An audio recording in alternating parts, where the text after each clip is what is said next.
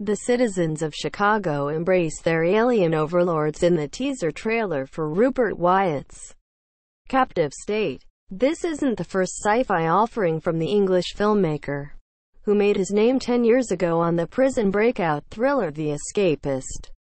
In fact, here in the States, Wyatt is best known for successfully reviving the Planet of the Apes movie franchise with his 2011 prequel reboot.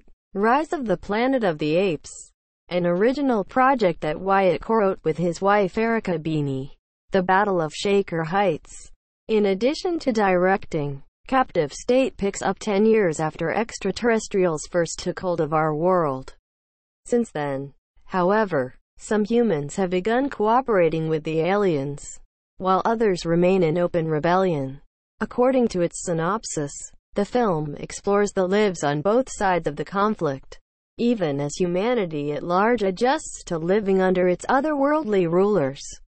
Related, Coen Brothers' Western Ballad of Buster Scruggs gets a trailer. The captive state cast is led by Moonlight actor Ashton Sanders, who also appeared opposite Denzel Washington in The Equalizer 2 earlier this summer.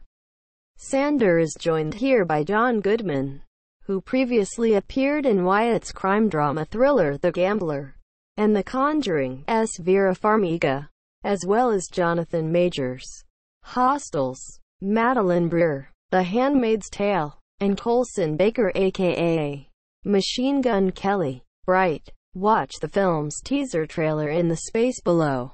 Judging by the synopsis and trailer, Captive State functions as a political allegory by way of small-scale alien invasion thriller. Wyatt's genre films typically have more substance than their B-movie premises might suggest and his latest appears to be no exception. In that regard, the Captive State trailer teaser didn't even touch on the movie's sci-fi elements, which goes to show just how much the film is trying to feel like a grounded dramatic thriller.